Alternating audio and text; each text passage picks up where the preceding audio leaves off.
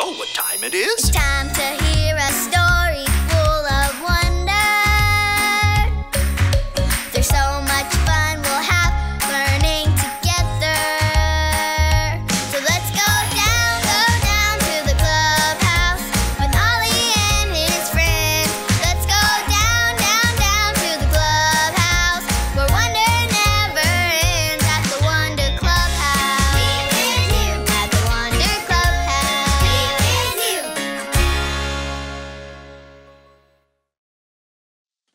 I'll need the blue one and the brown one and the. Oh, hi! Welcome to the clubhouse. I'm Zoe. Today I'm making royal leaves for my thankful tree. I thought today I could draw pictures of things I'm thankful for.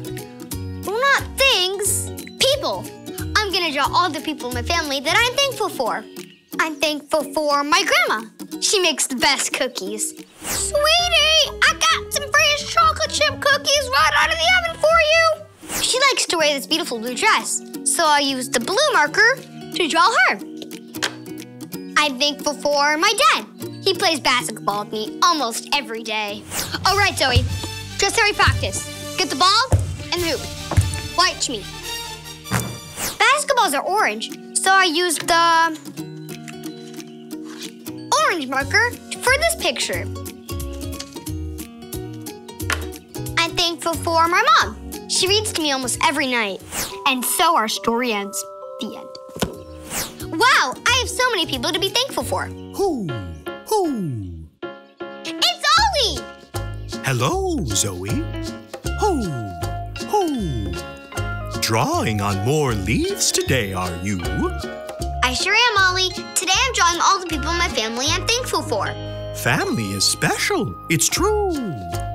I have a story about some brothers for you. Listen closely. Just follow me through. Who? Who? Follow me through, follow me through. Who?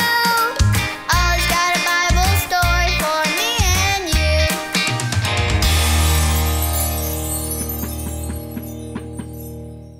Hola, friends. I'm Luis the handyman. See what I'm working on? My sister asked me to make something special to decorate our dinner table. She's going to fill this box with pumpkins, and it's going to sit on the table right in the middle of our family. Which reminds me of a story. Do you want to help me build it? Haha, great. All right, let's put it on the story fence. Hammers up, little builders. Ready? Uno, dos, tres, hammer. Great job, little helpers. You can put your hammers down. Now, we just need our story tools.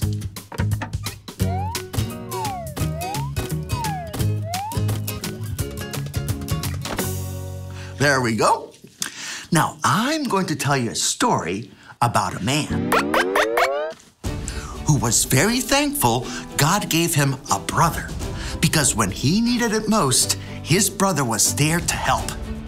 This man's name was Moses, and his brother's name was Aaron. Now, they were a part of God's army. One day, some mean people came to attack the Israelites. Everybody say, Oh no!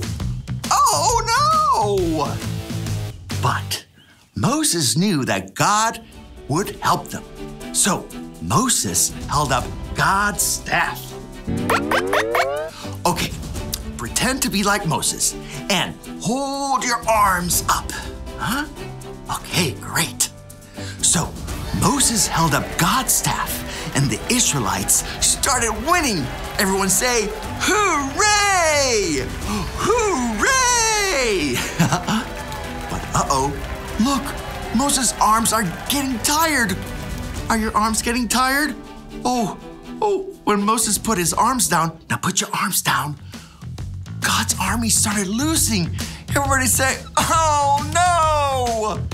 Oh no! But when Moses held his arms up, arms up, the Israelites were winning. Everyone say, Hooray! Hooray! You can put your arms down now. But Moses couldn't put his arms down.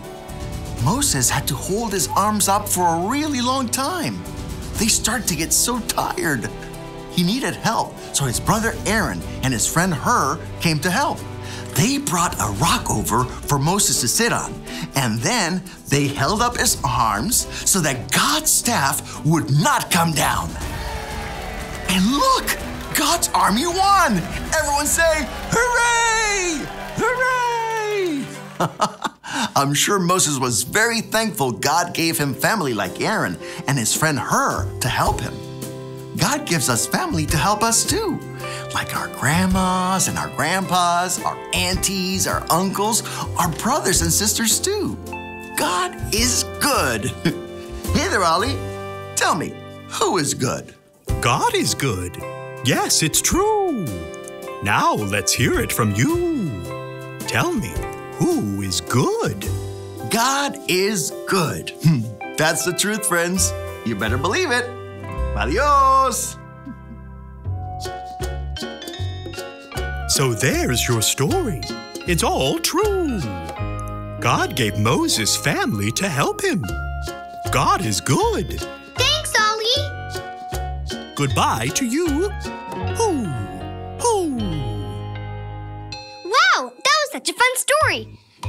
Gave Moses a brother and a friend to help him hold his arms up. God is good. I think I got the story. Did you get it? If you did, say got it. Get it? Got it! Good. Moses' brother helps him. I have lots of people in my family who help me. I need to draw more leaves. I'll see y'all next time. Bye.